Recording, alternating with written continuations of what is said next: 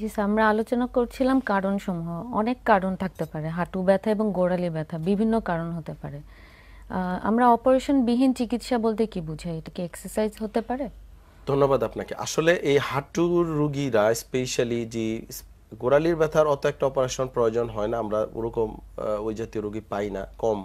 But হাঁটুর common রুগী, প্রায়ই আমার প্র্যাকটিসে যে রুগী আসছে কি, অন্য ডাক্তার বলেছে হাঁটু পাল্টাতে হবে অপারেশন করতে হবে। সো আমার কাছে আসছে বিকল্প ট্রিটমেন্ট যে অপারেশন ছাড়া এটা ভালো করা সম্ভব হয় কিনা। তো আমার প্রথম একটা মেসেজ সেটা হচ্ছে prevention is better than cure আমার কেন একটা জোড়া অপারেশনে যেতে হবে? ঠিক না? আপনার রোগ যদি ডায়াগনোসিস হয়ে যায়, তা, তাহলে ওই দিন থেকেই যদি আমি অ্যাপ্রোপ্রিয়েট ট্রিটমেন্ট করি, পুনর্বাসন রিহ্যাবিলিটেশন ফিজিক্যাল থেরাপি করি, তাহলে অপারেশন যাওয়ার প্রশ্নই ওঠে না। মানে আমরা রুগীগুলা রোগটাকে আস্তে আস্তে অপারেশন পর্যায়ে নেয়। তো এইটা যেন কেউ না করে। আমার প্রথম কথা হচ্ছে সেটা। তা আপনার যদি অস্টিওআর্থ্রাইটিস প্রাইমারি স্টেজে থাকে, যেমন হাঁটুর হাড় ক্ষয়, তো এটাতে এক্স রে দেখলে সিম্পল বোঝা যায় ভিতরে কি অবস্থা আছে। অথবা ক্লিনিক্যাল ফিচার অনুযায়ী বোঝা যায় এইজ বয়স, সব মিলে আমরা বুঝতে পারি। তো ওই দিন থেকে যদি রুগী ঠিকমতো রিহ্যাবিলেট করে এক্সারসাইজ করে, ওয়েট রিডিউস করে, পরিমিত সুষম খাবারগুলা খায়, তাহলে কিন্তু রুগী এমনিতেই ভালো হয়ে যায়। কিন্তু অপারেশন যে আপনি কথাটা বলছেন সেটা হচ্ছে একদিনে হয় না। ওই যে বলছিলাম যে চেয়ারে বসে নামাজ পড়ে দীর্ঘদিন যে সিঁড়ি বা বন্ধ করে দিয়েছে হাঁটা চলাফেরা বন্ধ মুভমেন্টই করে না নিচে বসে না ডাক্তার সাহেবরা বলেছে নিচে বসা নিষেধ সিঁড়ি বা নিষেধ এরকম কিছু রুগী আমি প্রায় পাই যেটা বাস্তব কথা। তো এই ডিউ টু দ্যাট প্রসেস আস্তে আস্তে আস্তে আস্তে আপনার জোড়াটা আরও শর্ট হয়ে আসে। মানে আপনি যদি মুভ না করেন তাহলে জয়েন্টের উপরে যে মাসেলগুলো আছে খুব ইম্পর্টেন্ট মাসেল কোয়াড্রিসেপস পিছনে আমাদের হ্যামস্ট্রিং কাপ মাসেল এগুলা। এবং এক একটা মাসেল এতই শক্তিশালী একটা মানুষ যদি কাউরে লাথি দেয় মানুষ আরেকটা লোক মারাও যেতে পারে। মানে এত শক্তিশালী মাসেল সো সেই মাসেল যদি আপনি ইউজ না করেন তাহলে ডিস ইউজ অ্যাট্রোফি হয়ে যাবে। জয়েন্ট কিন্তু আস্তে আস্তে আরও বেশি ইরোশন হয়ে যাবে। মাসেল ওয়াস্টিন হবে তখন কিন্তু আপনাকে বাধ্য হয়ে অপারেশনে যেতে হবে। তবে আমরা যদি রুগী three degree four degree early স্টেজও আমাদের কাছে আসে আলহামদুলিল্লাহ আমরা সেটা অপারেশন বিহীন পুনর্বাসন চিকিৎসার মাধ্যমে। সেটা আমি আলোচনা আসব। এই বিষয়ে একটু জানব স্যার একটা ফোন নিয়ে নিই। জি দর্শক কে বলছেন কোথা থেকে বলছেন আপনার বয়সটা উল্লেখ করে প্রশ্নটি করুন। জি আসসালামু আলাইকুম। ওয়ালাইকুম আসসালাম। জি বলেন আমরা শুনতে পাচ্ছি। ম্যাডাম আমি জামগড়া থেকে আশুলিয়া জামগড়া থেকে আব্দুল বাতেন। জি। জি। জি ওই যে আমি কিছুদিন আগে গত ই রমজান ঈদের আগের দিন আমি একটা অ্যাক্সিডেন্ট করছিলাম। অ্যাক্সিডেন্ট করার পরে এই বোর্ড ভেঙে এসে মানে প্লাস্টিকটা ভেঙে এসে আমার হাঁটুর ঠিক নিচের অংশ একটু নিচে মানে যেখানে জোড়াটা জোড়াটার সাইডে আমি একটু চাপ খেয়েছিলাম। চাপ খাওয়ার পরে খুব ব্যথা করতো। ব্যথা করার পরে আপনার এই কিছুদিন প্লাস্টারও করে রাখছি। এখন এক্সরে করলে ডাক্তার বলে যে ভাঙছে ভাঙছে কিন্তু আমি হাঁটি চলে ভালো। মাঝে মাঝে খুব ব্যথা করে ওঠে। তারপরে কিছুদিন ব্যান্ডেজ করে রাখার পরে আমি ব্যান্ডেজটা খুলে করলাম। এখন তারপরে আমাকে ডাক্তার একটা ট্যাবলেট দিয়েছে কনটেপ কনটেপ একটা ট্যাবলেট দিয়েছে এটা খাইলে খুব ভালো। এই যে গত রাত্রে খাইছি আজকে খুব ভালো। হ্যাঁ এখন ওই খাইলে ভালো পরে পরবর্তীতে আবার হয়। এটার কারণটা কি আপনার বয়স কত? আমার বয়স পঁয়- পঁয়তাল্লিশ। পঁয়তাল্লিশ। আচ্ছা জি ধন্যবাদ। আমি উত্তর দিচ্ছি। আপনার যে কোনো পোস্ট ট্রমাটিক মানে ওনার যেমন হ্যাঁ পোস্ট ট্রমাটিক সেটা যদি হাড় ভেঙে গিয়েও জোড়া লাগে স্পেশালি পোস্ট ট্রমাটিক যদি হাড় ভেঙে গিয়ে গিয়ে নাও থাকে, তো সেকেন্ডারিলি কিন্তু সব টিস্যুতে বিভিন্ন, যে যে যে কোনো ইঞ্জুরিতেই কিন্তু কানেকটিভ টিস্যু আসবে, ঠিক না? ব্লাড আসবে ব্লাড থেকেই কানেকটিভ টিস্যুর এখানে আবার সেকেন্ডারি অন্য টিস্যু ফাইব্রাস টিস্যু চলে আসে। বা হাঁটুর ক্ষেত্রে সেম এটা যে কোনো আঘাতের থেকে সেকেন্ডারিটা হতে পারে। তো আপনার ডাক্তার সাহেব যেই ওষুধটা দিয়েছে, সেটা করেন এটা হচ্ছে গ্লুকোসামাইন কন্ট্রোটিন সালফেট। এটা আমি বলি যারা বয়স চল্লিশের উপরে, সবার এমনি তো মাঝে মাঝে খাওয়া উচিত। এটা ওষুধ না, এটা সাপ্লিমেন্ট।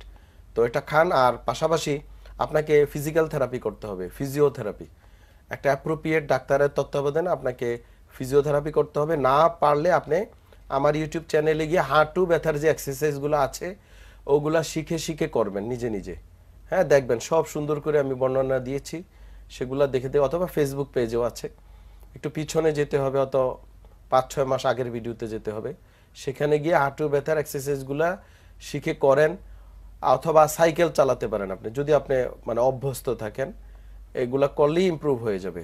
আর পাশাপাশি বেটার হয় যদি আপনি ফিজিক্যাল থেরাপি দিতে পারেন স্পেশালি হাই ফ্রিকোয়েন্সি সাউন্ড এবং কিছু এক্সারসাইজ আছে, যেমন কোয়াড্রিসেপ স্টেটিক এক্সারসাইজ এটা কিন্তু আপনি ইউটিউবে অন্য ডাক্তারদের ব্যায়ামও পাবেন। কোয়াড্রিসেপস স্টেটিক এক্সারসাইজ এবং কোয়াড্রিসেপ স্ট্রেন্থেনিং এক্সারসাইজ দুইটা এক্সারসাইজ আপনাকে করতে হবে। আর যে ওষুধটা উনি দিয়েছে, সেটা কিছুদিন খান, ওনাই যে কয়দিন বলেছে, ওই কদিন কন্টিনিউ করেন। আর এই বয়সে একটু দুধ এবং দুগ্ধজাত খাবার খেতে হবে, যদি আপনি একেবারে ফ্রেশ মিল্ক পান আর কি হ্যাঁ ভেজাল না থাকে, তাহলে উপকার হবে। বা দই, বা পনির, বা এই জাতীয় মানে দুধের তৈরি যে কোনো খাবার বাট প্রসেস ফুড না, ওই যে ফ্রিজে রাখছে বা ও বিভিন্ন কোম্পানির দুধ ওগুলা না। মানে আপনি ফ্রেশ গরুর দুধ যদি পান সেটা আপনি খেতে পারেন এটা আপনার জন্য উপকারে আসবে। আমরা আলোচনা করছিলাম কোয়াড্রিসেপস মাসেলস এর সম্পর্কে। এটা একটা ইম্পর্টেন্ট মাসেল এটা ইউজ না হলে ওয়েস্টিং হয়? তো আমাদের মেইন কারণ হতে পারে ব্যথা পেলে মানুষজন আমরা আসলে হাঁটা চড়া বা ওঠা বসা বা এক্সারসাইজ করার এগুলো এটা কমিয়ে দিই। এটাই কিন্তু মেইন কারণ হচ্ছে মাসেল ওয়েস্টিং হ্যাঁ সেটা আছে কিন্তু একটা হচ্ছে কি মানুষ প্রপার মেসেজ নাও পেতে পারে। মানে একজাক্ট সে আসলে কি করবে? অনেক সময় ডাক্তার বলেছে যে আপনি আপাতত চেয়ারে বসে নামাজ পড়েন বা সিঁড়ি বা ওটা বন্ধ রাখেন। কিন্তু এটা কতদিন? এটা কি আজীবন? তো তখন রুগীরা হয়তো ভুল মেসেজ পায় বা ডাক্তারের কাছে আর ফলো আপে যায়নি বা হয়তো ডাক্তার ওখান থেকে ট্রান্সফার হয়ে অন্যখানে চলে গিয়েছে। উনি আসে প্রফার ওই যে ডাক্তার বলেছে মানুষ তো ডাক্তারের উপর নির্ভরশীল, ঠিক না? তো মানুষ মনে করে, ঠিক আছে, আমি চেয়ারে বসে নামাজ পড়ি। এই যে পড়তে থাকে, এতে আস্তে আস্তে জোড়াগুলা নষ্ট হয়ে যায় এবং এক পর্যায়ে দেখা যায় যে আপনি যেটা বলছেন হ্যাঁ ব্যথা কখন হয়? হাঁটতে গেলে। এক পর্যায়ে দেখা যায় রুগী বসে আছে, তখনও ব্যথা হয়। শুয়ে আছে, তখনও ব্যথা হয়। তখন বাধ্য হয়ে আমাদের কাছে আসে যে এখন তো আর পারা যাচ্ছে না। তখন আমরা যদি এক্স রে করি বা সিটি স্ক্যান, এমআরআই করি, দেখা যায় যে ফোর ডিগ্রি অস্টিওআর্থ্রাইটিস একেবারে ফিক্সড হয়ে যায় অনেকের ক্ষেত্রে। অনেকের ক্ষেত্রে হাঁটু, যেটা ল্যাটিন ভাষায় জেনু বলা হয়। জেনু রিকারভেটাম, জেনু ভ্যালগাস, ভ্যারাস ডিফর্মিটি হতে পারে। মানে হাঁটু বেঁকে যেতে পারে বো হয়ে যেতে পারে। হাঁটুর থেকে পায়ের পাতা ডানে বামে চলে যায় অনেকে। হ্যাঁ মানুষ তো আসলে নিচের অংশে সবাই কাপড় পরে থাকে, বোঝা যায় না। যখন আমাদের কাছে আসে, আমরা অ্যাসেস করি এক্সপোজ করলে ক্লিয়ার বোঝা যায়, পা দুইটা দুই দিকে চলে গিয়েছে। তো রুগীরে জিজ্ঞেস করা হলে, আপনি এতদিন দেখেন নাই? উনি এটা আমলে নেন আর এই জিনিসগুলো কিন্তু একদিন হয় না। এটা যদি হতো, সকালবেলা একটা রোগ হয়েছে, বিকালে রুগী বিছনায় পড়ে গেছে, তাহলে দৌড়ে ডাক্তারের কাছে যাবে।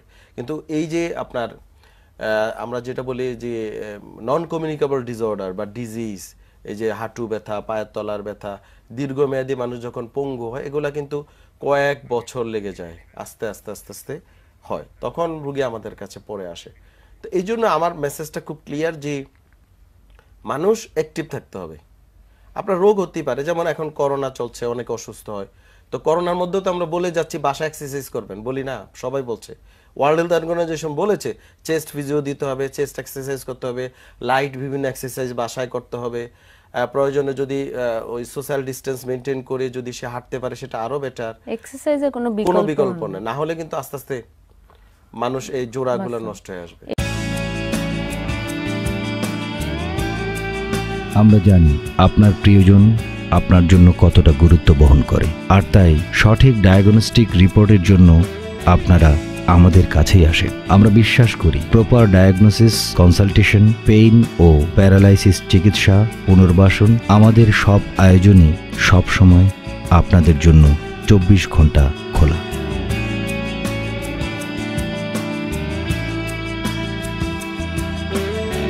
নির্ভুল রিপোর্ট অতি দ্রুত সময়ে আমরাই দিয়ে থাকি।